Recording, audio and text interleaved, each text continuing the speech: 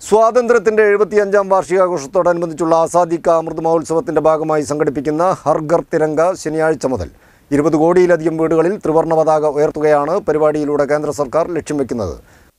സ്വാതന്ത്ര്യത്തിന്റെ എഴുപത്തിയഞ്ചാം വാർഷികത്തോടനുബന്ധിച്ചുള്ള ആസാദിക്ക അമൃത് മഹോത്സവത്തിന്റെ ഭാഗമായി സംഘടിപ്പിക്കുന്ന ഹർഗർ തിരങ്ക ശനിയാഴ്ച മുതൽ തുടങ്ങും.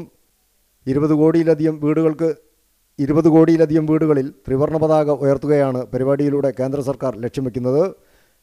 ശനിയാഴ്ച മുതൽ മൂന്ന് ദിവസങ്ങളിലായി പരിപാടി സംഘടിപ്പിക്കും. കേന്ദ്ര ആഭ്യന്തര മന്ത്രാലയത്തിന്റെ നേതൃത്വത്തിൽ നടക്കുന്ന പരിപാടി സംസ്ഥാനങ്ങളിൽ മുഖ്യമന്ത്രിമാരും കേന്ദ്രഭരണ പ്രദേശങ്ങളിൽ ലഫ്റ്റനന്റ് ഗവർണർമാരുമാണ് ഏകോപിപ്പിക്കുക.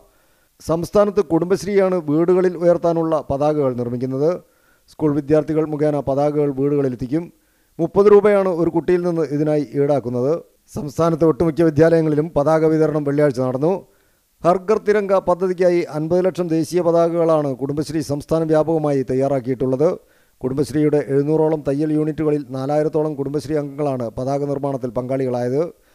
ദേശീയ പതാകയുടെ അളവായ മൂന്ന് ഇസ്റ്റു രണ്ട് എന്ന അനുവാദത്തിൽ തന്നെയാണ് കുടുംബശ്രീ അംഗങ്ങൾ പതാക നിർമ്മിക്കുന്നത്.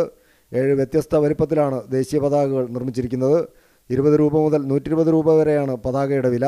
ഇതിലൂടെ ഒരു കോടിയിലേറെ രൂപയുടെ വരുമാനം കുടുംബശ്രീക്ക് നേടാനാകും എന്നാണ് പ്രതീക്ഷിക്കുന്നത്. ന്യൂസ് ഡെസ്ക് സി പ്രാദേശിക വാർത്ത